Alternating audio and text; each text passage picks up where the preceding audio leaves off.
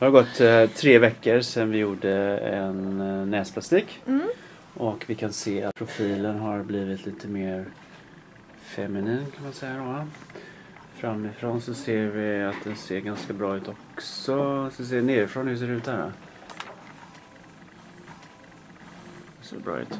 Men du hade någon liten grej som inte var riktigt bra. Vad var det för någonting? Det har blivit en liten insjunkning, en liten grop precis här då, där gipset har suttit.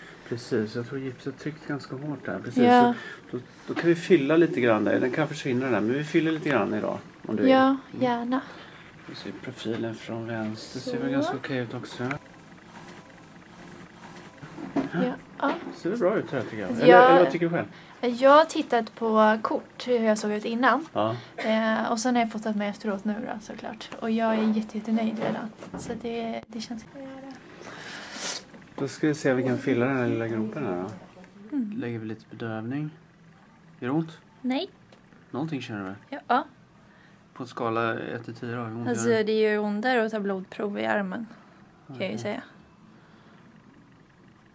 Som en liten mygga. Ja, det är bra. Då ska vi lägga in lite Restylane Vital i näsan här.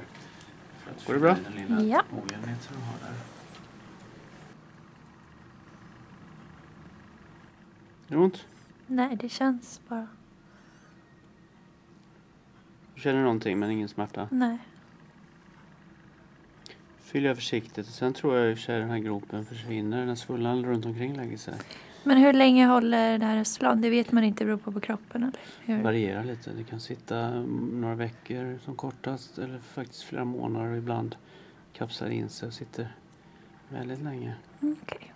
Nu ser vi att vi har lyft den här gropen lite grann här. Kan du passa på att ta lite rynkorna också? Nej, jag skämtar. Var är de någonstans? Mm, Ja, men det gör man väl runt ögonen.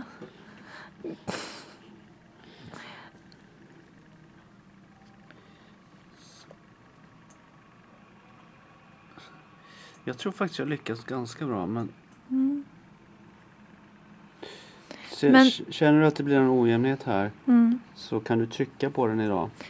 Och sen får du komma tillbaka om några veckor igen så får vi titta på det om det blir För är det så ja, att första dagen att man kan liksom flytta runt det lite själv då? Lite eller? grann kan man trycka på det första Ja. dagen. Sen blir det liksom hårt. Ja. Mm. Oj, där kändes det lite.